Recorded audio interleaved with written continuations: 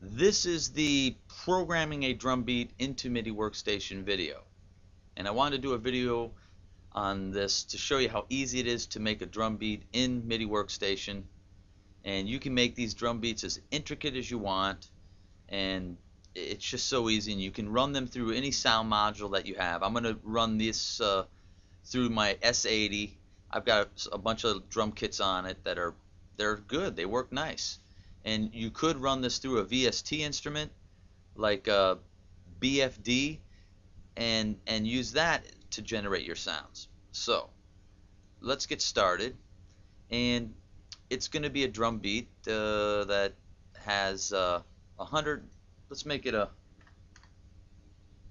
140 beats per minute.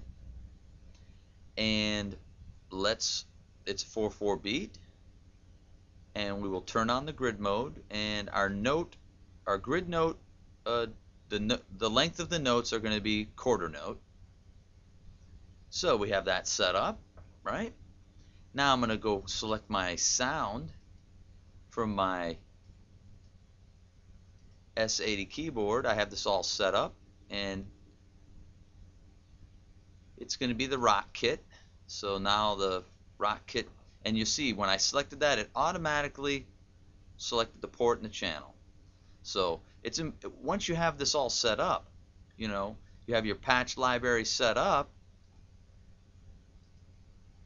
I want my S80 there's my drum kits it's all set up and watch those videos and get it all set up because all I had to do was go in there and select it and boom it selected the port and the channel and it's done. Now I can copy that those entries right here by selecting these two channels and right clicking and copying settings to selected tracks. So, okay, my three tracks, my this will be my kick, my snare, and my open hi-hat. To get that, I'm going to make a little 4-4 beat like the AC/DC drummer did so many times to make, and they used it on a billion different songs that were awesome.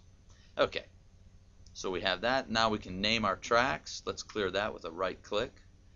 Let's uh, control left click. Kick. Snare. Oh let's get a capital there. Snare. And hi-hat. And we'll go back up here. We'll start right here so you can see it better. Now I need to find my sound on my keyboard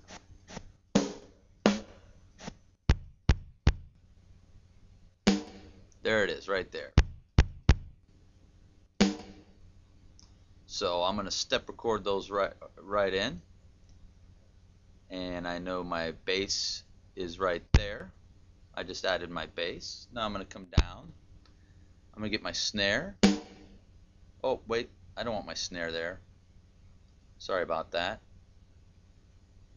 Let's go here. Let's undo that. I select it and delete it. Now I want my snare to be 1, 2. That's where I want my snare to be. And there's my snare. I go down, go back. Here's my hi-hat. Let's get out of here so we can find our hi-hat sound.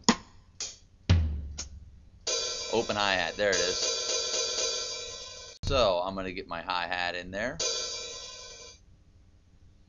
And that should be good enough.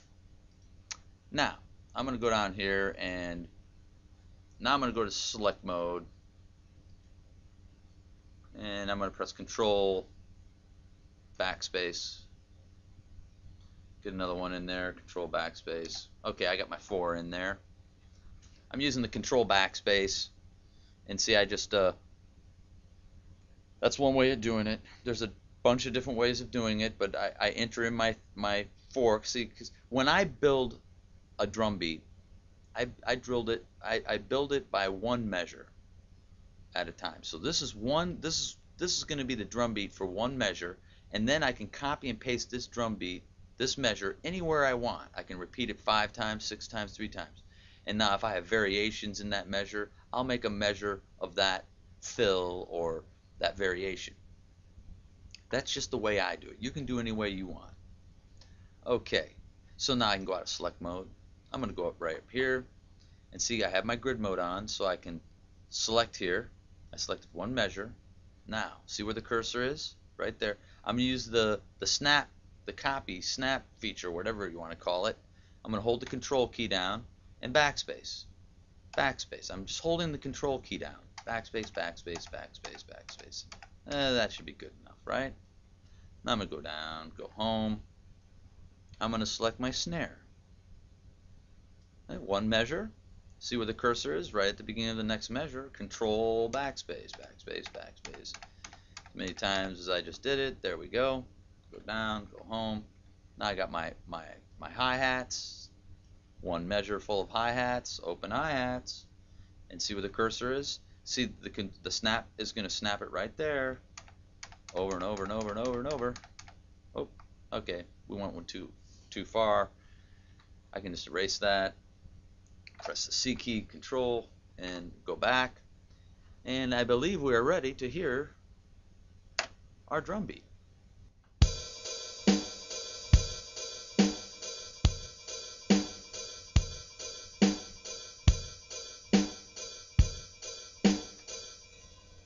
That is it. How simple, how simple can it be? And now if I wanted to make variations, I could do it. I could do it, you know, very simple, and I can change the tempo. I can tempo map this out and have it change the tempo after five bars to, you know, whatever I want. Uh, you know, you can do anything you want. Very, very simple. I can change the, the velocity and the everything.